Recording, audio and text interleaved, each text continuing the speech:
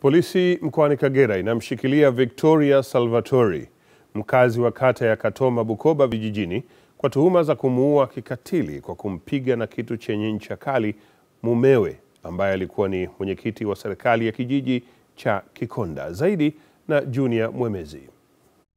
Hawa ni baadhi ya wananchi wa kijiji cha Kikondo kata ya Katoma Bukoba vijijini ambao wanaishi karibu na mazingira ambapo mauaji haya yamefanyika. Wanaeleza jinsi walivyopata taarifa juu ya tukio hilo la mauaji ya kinyama. Mke wake akaniambia njoo mwangalie mzee amejikwaa, akaanguka chini, alikuwa amelewa.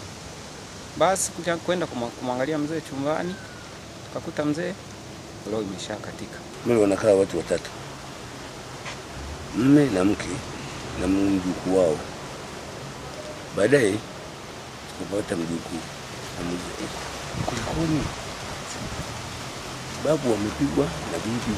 Sasa mwisho wake ndio mauti ikamfika bila shaka, sababu mimi nilikwenda pale walivyonituma kenda kwenye tukio.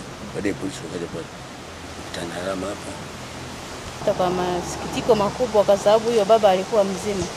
Kwa hiyo mpaka hizo habari kwa ujumla zimetusikitisha sana. Kamanda wa jeshi la polisi mkoa wa Kagera, kamishna msaidizi mwandamizi wa jeshi la polisi Agustini Ulomi amethibitisha kutokea kwa tukio hilo na kusema kuwa jeshi la polisi linamshikilia Bi Victoria Salvatori na pindi uchunguzi utakapokamilika watamfikisha mahakamani. Bado tunachunguza kiini cha kutokea kwa hili tukio na sababu zilizomfanya huyu eh, mama Victoria ampige mmewe kichwani na kusababisha kifo chake, iwe kwa namna yote ile,